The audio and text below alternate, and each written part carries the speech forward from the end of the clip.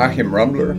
Uh, I'm 58 years old, drove here from Baton Rouge, Louisiana, and uh, had a procedure on Monday. I had a procedure on Wednesday on my cervical spine uh, between C7 and T1 to decompress the C8 nerve, which was producing a lot of just funny sensations in my left uh, pinky and my ring finger.